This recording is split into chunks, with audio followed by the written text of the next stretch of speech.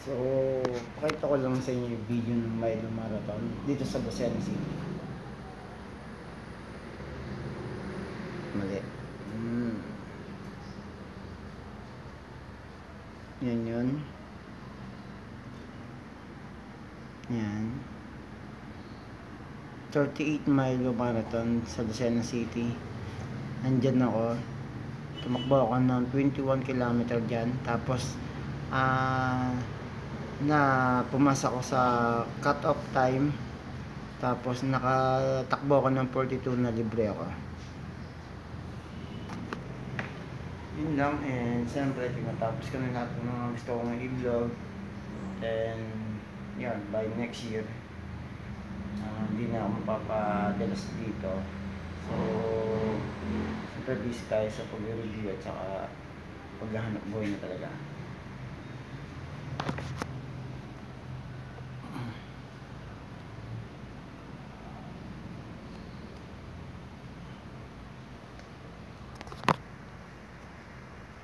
Siyempre, hindi na tayo talaga mapapadalas dito.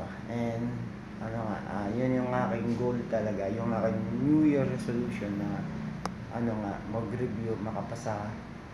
So, ang ano ko talaga, ang goal ko talaga yan, ah, makapag-exam ngayong taong ito, 2024. Then, ano, makapasa, take one. Siyempre, ano, ah, ayoko na kasi manatiling lagi na lang ako naka, naka, bagang umaasa o may inaasahan lagi.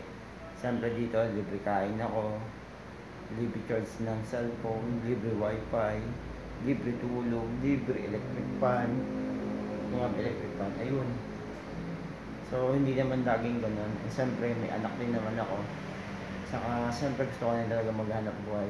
Ah, isang paraan ko yung pag-exam para makapag ah, take ako ng, ng, ano, ng uniting and siyempre para makumpleto na yung Bachelor of Science ko. And siyempre ano ah, gusto ko yung talagang makapagtapos. Iba yung ano eh ah, yung iba yung fighting spirit ko talaga. Kasi hangarin ko talaga makapagtapos ng pag-aaral. Hindi naman porque tapos ka na ng pinag-aralan tapos ka na ng bachelor. May trabaho na agad naghihintay sa'yo. Hindi ganun kadali ang buhay. Mahirap ang buhay sa totoong buhay lang And syempre, yun talaga yung goal ko. Sabi tama sinasabi ng tao na, yan, hanga ako sa iyo, malakas ang fighting spirit mo, pero hindi ako niniwala sa iyo dahil yung utak mo ay hindi hindi makakapasa sa exam. Siyempre, minsan yung tao, ah, ano yun eh, yun yung drive na nagtutulak sa'yo. Maraming taong hindi naniniwala sa iyong kakayahan, lalo na kay Michael Arcena. Pero, pinipilit talagang gawin yun. And, siyempre, yun yung magiging drive ko talaga eh. Marami din akong pinagdaan ng hindi ko talaga masasabi kung ano, ang mahirap, mahirap yung pinagdaanan ko talaga. So, eto ako, ah, nangangarap at saka mayroon akong pangarap na gusto ko mangyari sa buhay ko.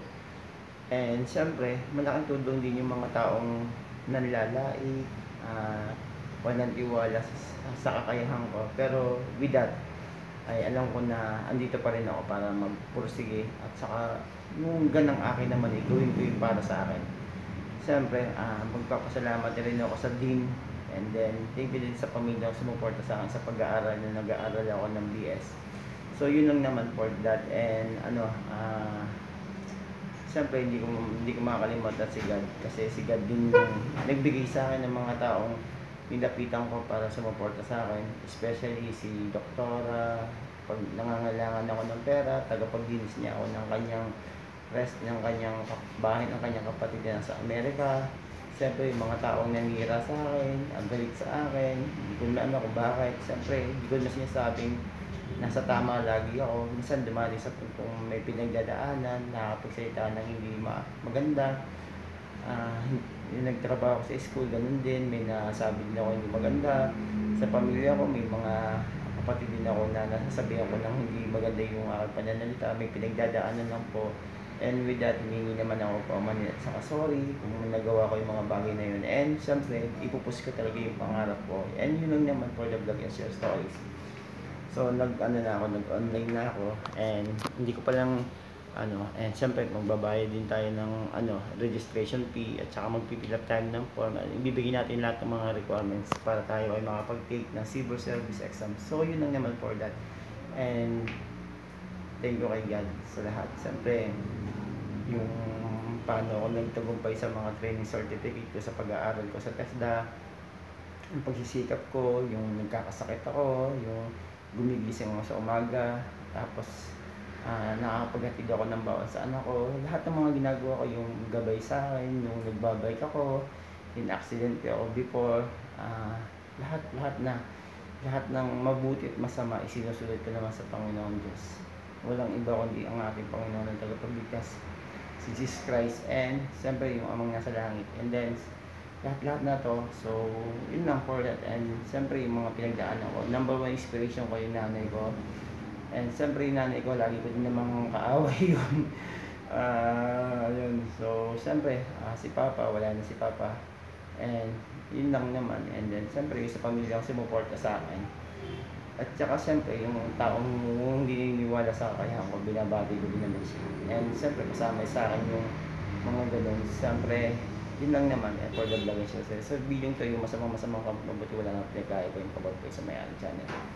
Bye!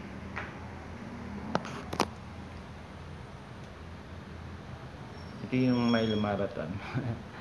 Hindi yan ano, yung time na nilalait din ako sa pagmamile marathon ko, yung ay hindi ka makakapagtapos, yung ganyan, yung pero pinilit kong mag ano, mag-training hanggang saan narating ko din yung ano, magkaroon ako ng medal ng 21 kilometer run and 42 kilometer run. So yun naman for that and thank you for watching my vlog.